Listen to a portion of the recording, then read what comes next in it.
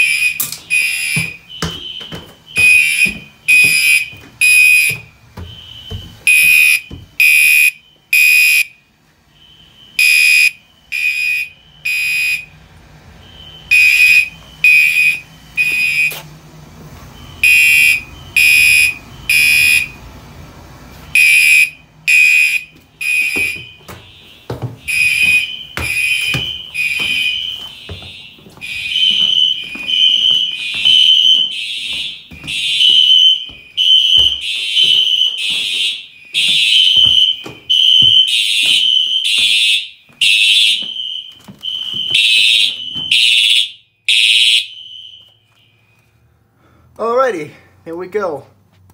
I know I messed up on the this model, but uh, whatever. Uh, next video, everything's gonna be back to system sensor devices, and then um, but yeah, it was fun having the Gentex devices, but uh, now everything's gonna be synchronized. So yeah, thank you guys for watching. Hope you enjoyed the video.